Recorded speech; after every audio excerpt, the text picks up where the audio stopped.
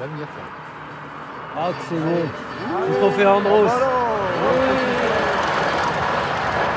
Mais c'est pas de ce côté-là qu'il faut aller, Poupidou.